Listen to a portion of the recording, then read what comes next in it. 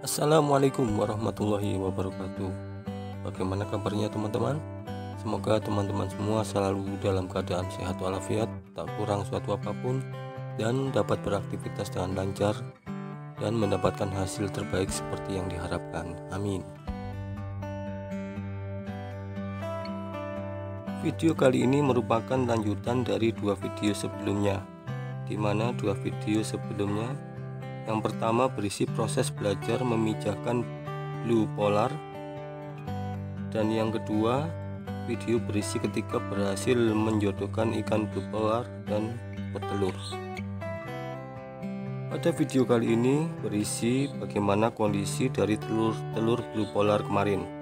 Jadi video ini saya ambil menginjak hari ketiga setelah indukan blue polar bertelur. Saya sempat kaget karena daun tempat indukan blue polar meletakkan telur ternyata sudah bersih dan tidak ada telur tersisa satupun.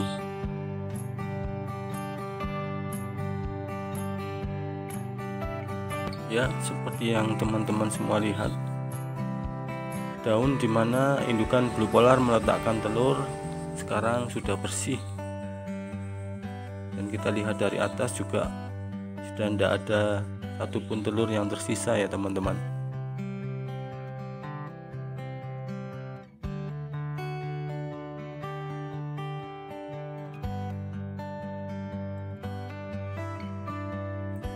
Namun kalau saya perhatikan indukan blue polar itu mondar mandir dari tempat di mana dia meletakkan telur pertama kali ke tempat yang lain. Sini teman-teman dan saya perhatikan ternyata telur sudah menetas dan dipindahkan oleh indukannya ke tempat yang lain.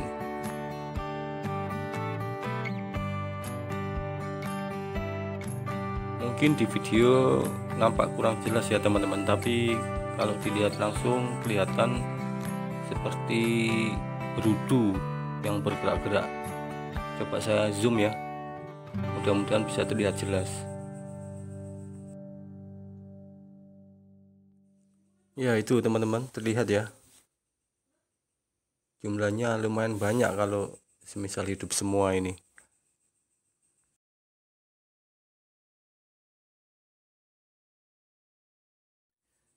Jadi begitu ya teman-teman kalau ikan blue polar bertelur setelah menetas akan dipindahkan ke tempat yang lain.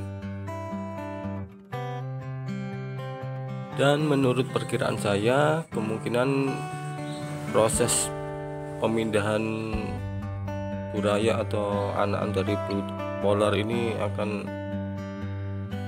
terus ya tidak berhenti di tempat itu aja nanti dipindah lagi dipindah lagi gitu ya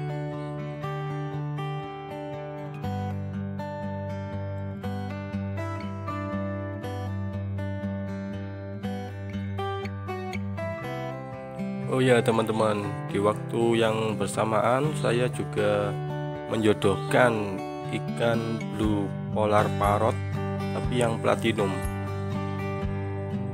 Ikan blue polar yang berwarna putih seperti ini teman-teman. Jadi di waktu yang bersamaan saya juga menjodohkan blue polar platinum dan alhamdulillah juga berhasil bertelur.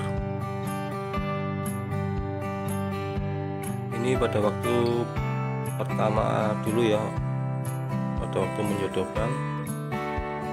Dan saya bedanya dengan yang blue polar kemarin saya meletakkan pot sebagai sarang bagi blue polar untuk bertelur. Dan ini ketika bertelur teman-teman. Jadi ditempelkan di dalam pot dia nggak mau diganggu teman-teman. Jadi dia mencoba untuk mengusir waktu saya video seperti ini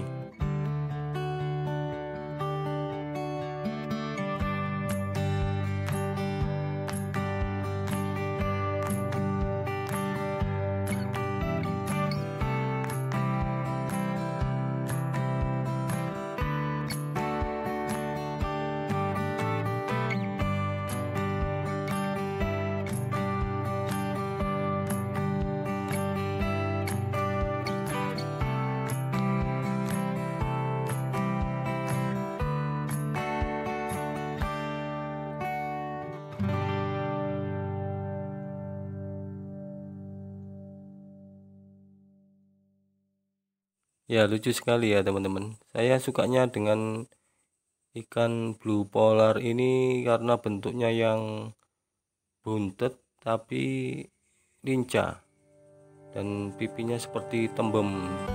Seperti itu ya. Ini waktu dia ngusir waktu saya video. Nggak mau diganggu sepertinya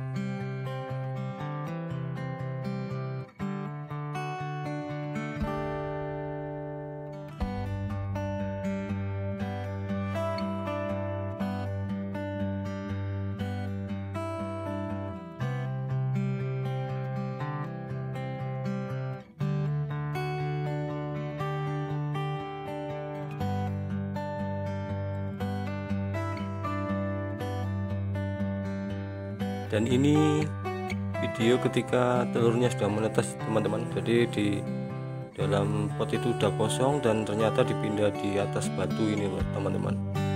Ya mungkin kurang jelas ya tapi kelihatan anaknya bergerak-gerak itu di menempel di batu teman-teman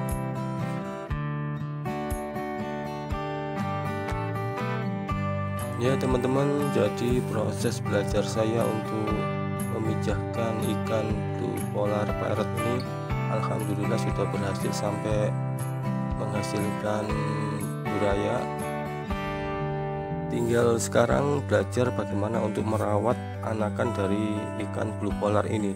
Karena yang saya ketahui ikan blue polar ini tidak memberi makan anaknya jadi hanya menjaga dan mengasuhnya saja ya, tidak memberi makan.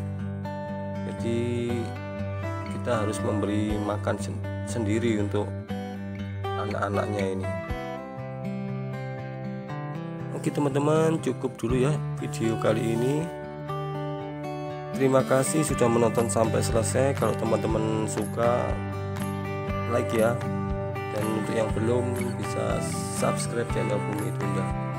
Oke terima kasih Wassalamualaikum warahmatullahi wabarakatuh. Bumi itu indah, nikmatilah.